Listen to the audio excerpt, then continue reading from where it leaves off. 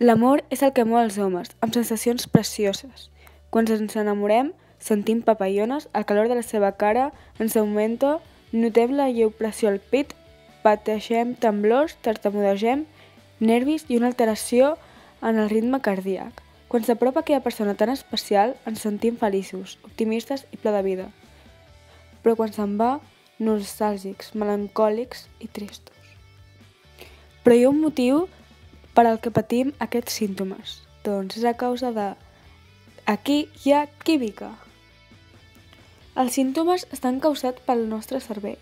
Quan ens enamorem, s'allibera un còctel de químics anomenant neurotransmissors, que són l'adrenalina, la dopamina, l'oxitocina, la serotonina i l'endorfina.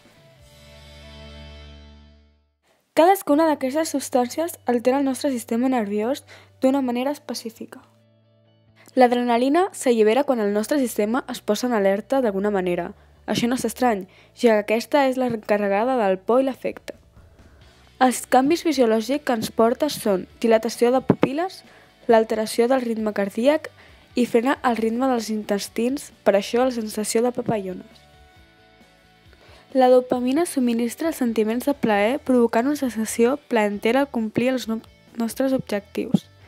Cada vegada que fem una cosa que ens agrada, s'allibera dopamina i la motivació de buscar-ne més.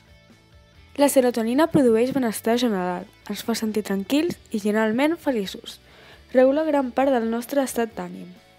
L'oxitocina és responsable de que amem, seguim feliços, compassius i amables.